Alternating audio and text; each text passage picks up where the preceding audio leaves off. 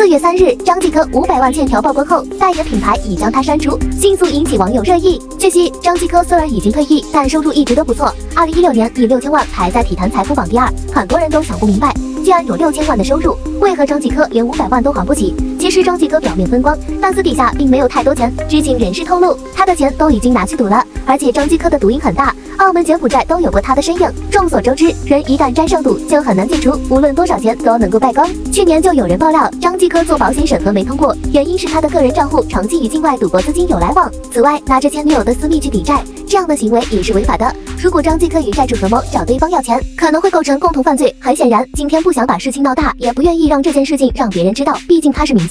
一旦曝光了，对他的演艺事业肯定会造成影响，所以才选择沉默。如今某运动品牌已删除与张继科合作，对此你怎么看呢？